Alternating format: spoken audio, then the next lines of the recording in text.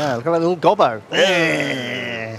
Scavenger's Hovel. it does Okay. seem like the one though, doesn't it? Or no, actually strip mine first.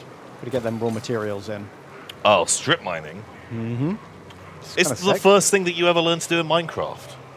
And that's like a fun, happy game. So, You're right. What a fun! Everyone gets to play Minecraft all day. and so, uh, yeah, you know, it can't be bad if it's in Minecraft. No. No, nothing bad ever started with mine.